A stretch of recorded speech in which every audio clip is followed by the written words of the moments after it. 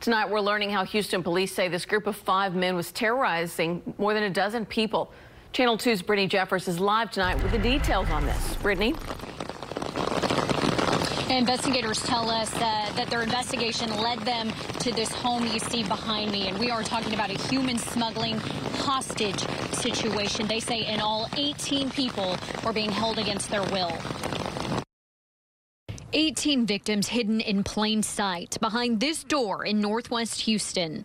According to Houston Police Chief Art Acevedo, the family contacted HPD's Homicide Division on June 5th to report their relative was being held in Houston for ransom. The human trafficking unit immediately responded to the general area of where officers believe the suspects and victims may be located, and the unit conducted a traffic stop and rescued a juvenile victim and detained several suspects. Chief Acevedo says a task force comprised of multiple agencies quickly began a rescue mission, and part of the investigation led them to this stash house.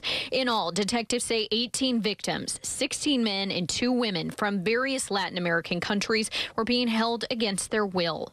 Detectives discovered one of the female victims was sexually assaulted for nearly a month. One day is too many. So we need we need your help. We need Houstonians to call and report any suspicious, suspicious activity. According to U.S. Immigration and Customs Enforcement, the following five undocumented individuals were arrested and charged with engaging in organized criminal activity by kidnapping. Authorities hope the other victims' families will contact them, but they're also calling on Houstonians to be vigilant. If you see something suspicious, a lot of traffic in and out of a house, uh, uh, strange uh, times of the night, uh, people coming and going that you don't even recognize, if you see patterns that don't seem right, please call 911. Now, detectives tell us that they also found Detectives tell us that they also found four guns, $10,000, as well as cocaine inside the home.